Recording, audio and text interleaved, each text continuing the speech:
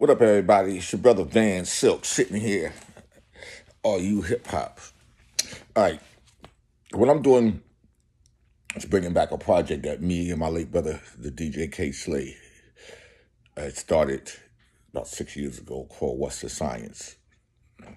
He's executive producer, I'm co-executive producer. So, doing interviews and, um, you know, we, we I think we taped about 15 episodes. I think we only have eight or nine in the can. But due to his untimely death, I guess I have to find some way to try to finish the rest of these up. But the first interview that was for What's the Science is with Kool DJ Red Alert, the legendary DJ. And I want y'all to check it out. And uh, I'll be I'll be bringing some more What's the Science uh, interviews done by the late DJ Kay Slay. This is Van Silk. I'm out. What's the science, baby? What's the science? Rock on. Check it out, y'all.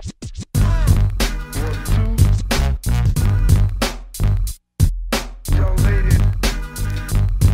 Rock on. Check it out, y'all.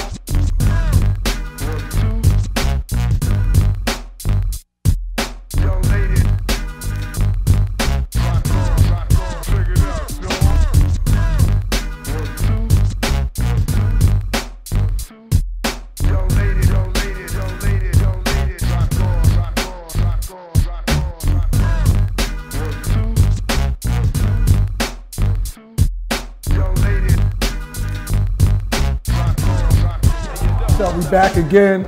What's the science showcast? And I call it a showcast because it's a little more than a podcast.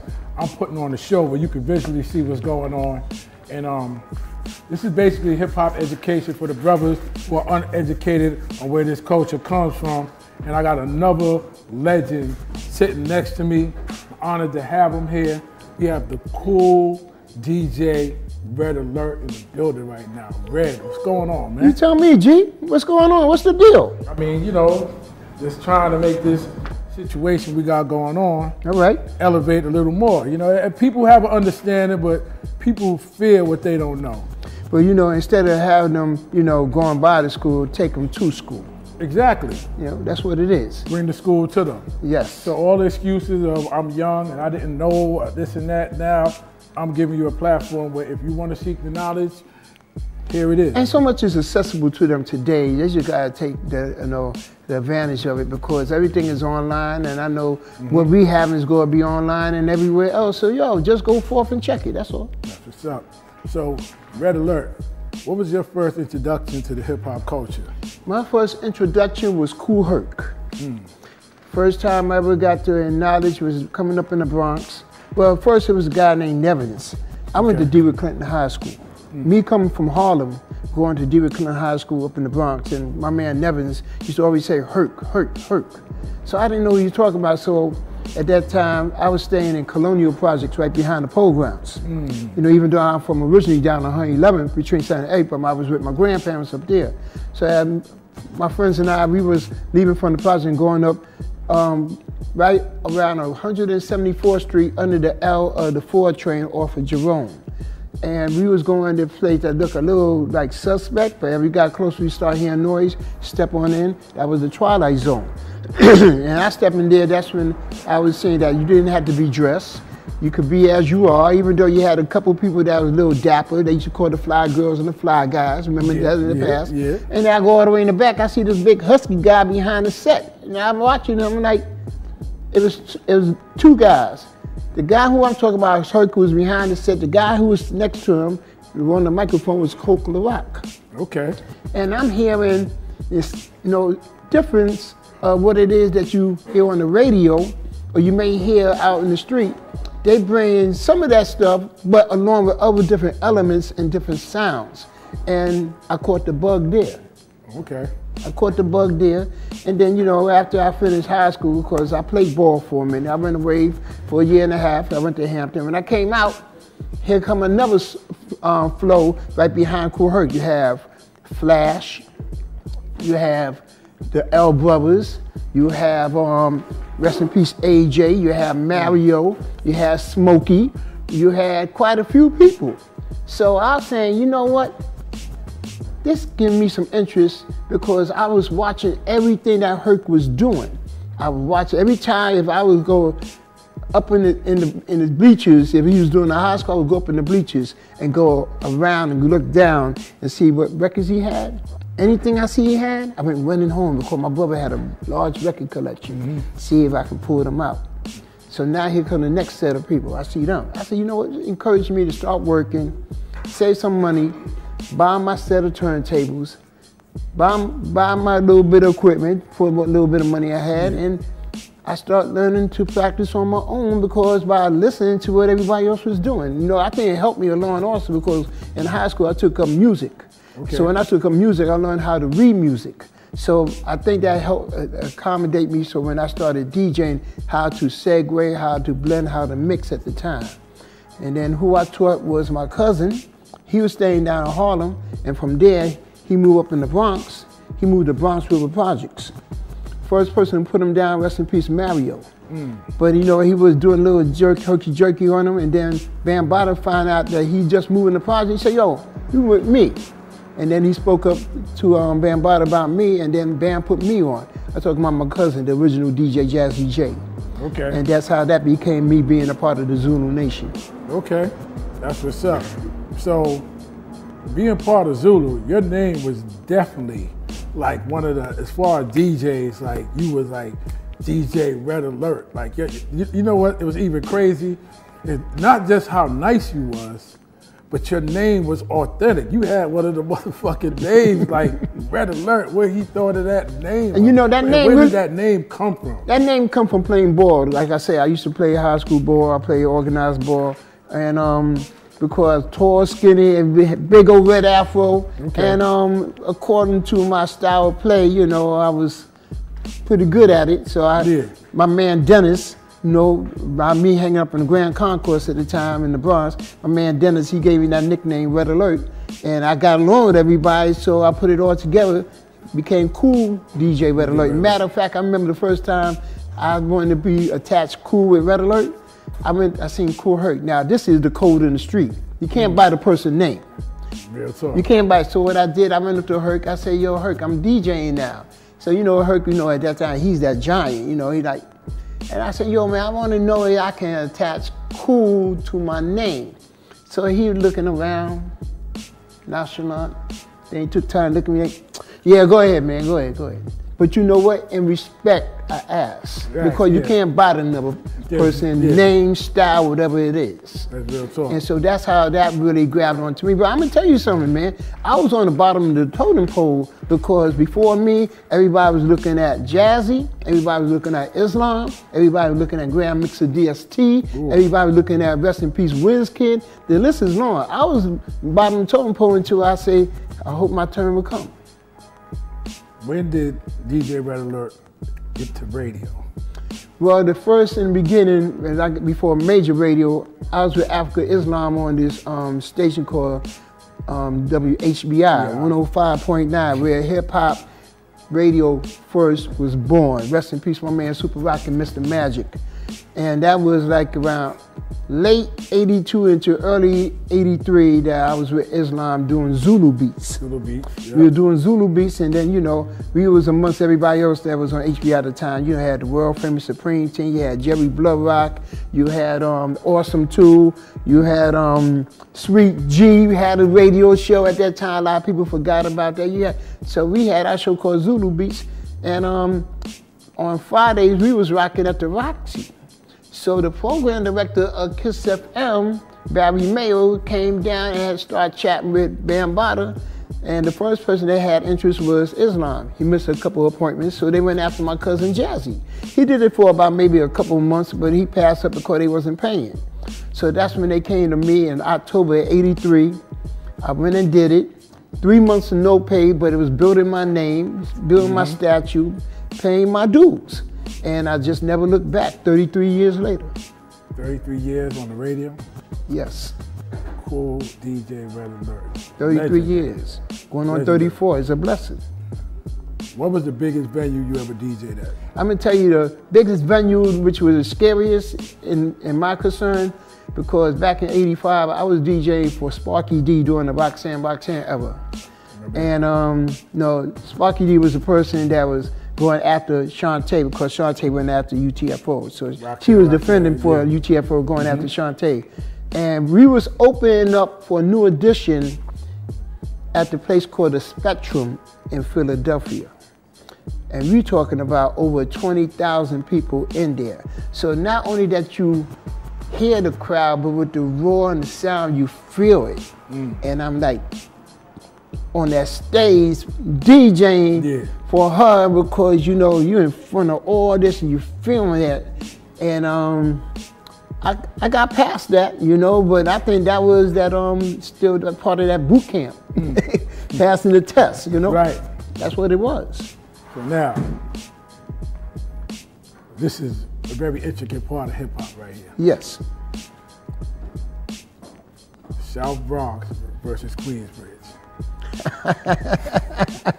you go laugh. Man, Man. I remember when the South Bronx record came out, everybody, because you know, up Harlem and the Bronx was kind of, and it was kind of Brooklyn and Queens. You Mm-hmm. Yes, understand what I'm saying? yes, it was. Like, Yes. when the South Bronx record came out, we was going crazy. Nuts. But I remember when the Bridge is Over came out, niggas was like, Yeah, yeah, they was like, yo, they, ooh, mm, yeah, uh huh. what was that time like? Like, what was going through y'all minds? Like, Well, when, well, let me let me try and break some down real quick and simple. You know, before South Bronx and the bridge, when that Roxanne Roxanne era was going on, it was rivalry between the two radio stations, WBLS and Kiss FM.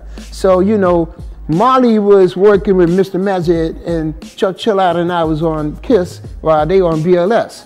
So you know, when I broke UTFO and they got upset, they went after um, Shanté and they put her out. And then here with this Sparky, I got to meet her at Russell Simmons' office, and she said, "I want you to be my DJ." And then, so that was in the part of the rivalry. So now, after that flooded out, now here come MC Shan. One thing I can say, even though that Marley was over there, he made good records. One thing had nothing to do with the other. So I played all the records, even though I was mm-hmm. on a different station. So I was banging out the bridge. But here come one night, Celebrity Tuesdays, in Latin Quarters. My man DJ Rahul, along with the Awesome Two, they all together. And who comes stepping in? Rest in peace, Scott LaRock, KRS-One. Mm. They came with this acetate. That's what we call it then. It was a hard plate, everybody, acetate. And he gave it to DJ Rahul.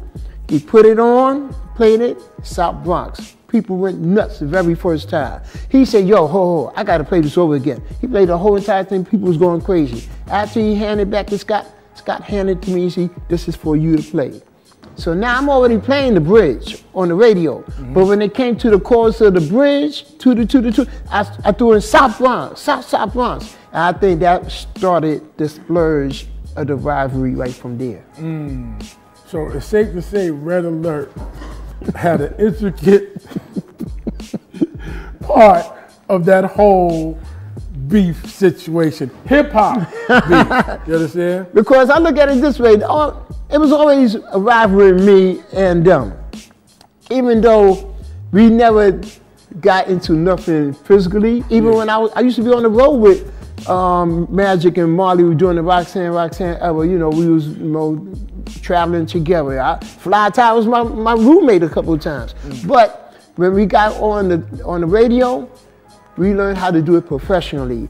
Mr. Magic, he had that mouth, you know, he called me all different type of names, Red Dirt, Woody Woodpecker. Used to say slap the lipstick off the radio. But then I had some people used to make some disc promos at Magic.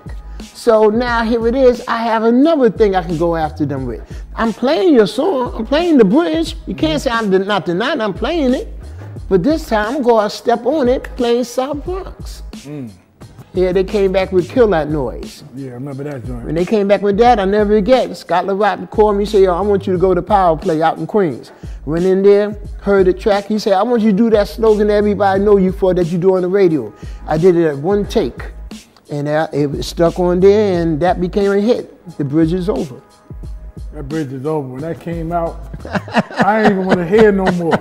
I did not want to hear no more. It was like, yo, it was nasty. But we was kept it professional. And that's why I respect the, a lot of the old school battles, you know, opposed to now, because now I don't really want any part of that, because I know it's going to be violence. It's gonna be And violence, and you know they, they step on each other and they not thinking. I mean, it's a blessing that I could say within years after that, South Bronx and, and, and the bridge. That here it is. Rest in peace, Mr. Magic, MC Shan, KRS-One, and I got together to do a Sprite commercial.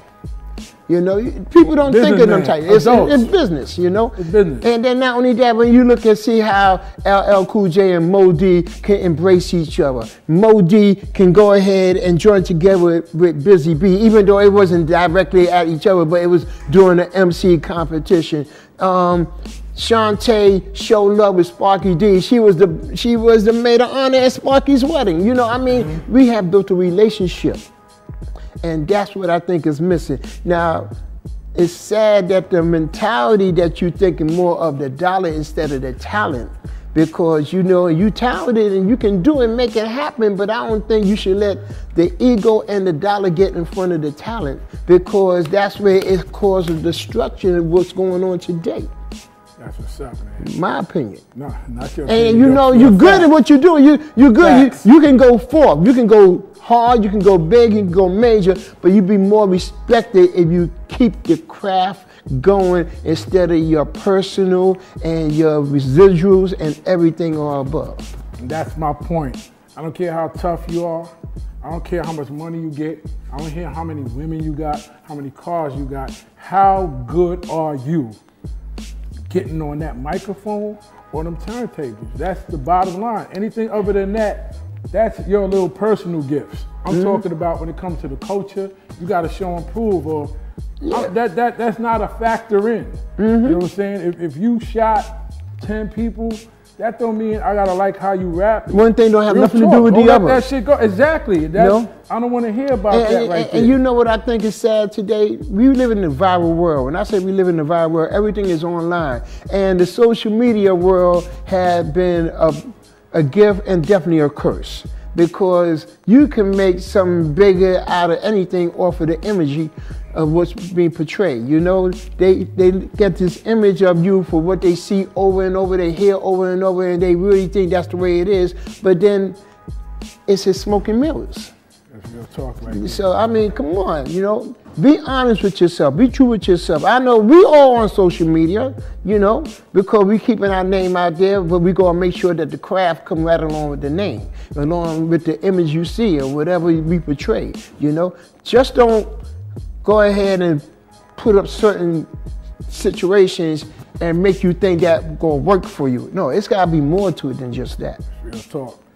So last question I want to ask you is how important is it for the new brothers in this game to know the hip hop history?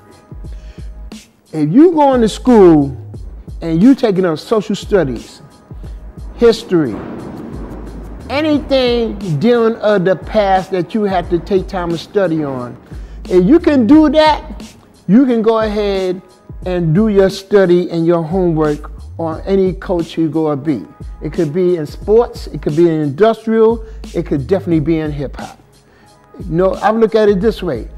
When I look at the NBA All Star, that's why I'm happy that you're doing it. I hope this gonna happen down the road. That when I look at a person like a LeBron James sitting down with a Mr. Bill Russell and having a conversation, why is it that Young M.A cannot sit down with a Queen Latifah and have a conversation? So if you are go ahead and get involved with this culture, do your homework, do your studies, and see where it came from. No, no, there's no such thing as writing us off. You know, we struggle for y'all to be where you're at. You don't owe us nothing, but we really appreciate you keep this going on in the right perspective. Yo, right. I couldn't have said it better. Definitely want to thank you for coming through, man. Respect, man. Once again, what's the science showcast, man? Just trying to make knowledge born, you know. If you want this education, it's out here for you now. There's no more excuses, yo. Warning. Warning, warning. The Drama King is in the building. The Drama King is in the building.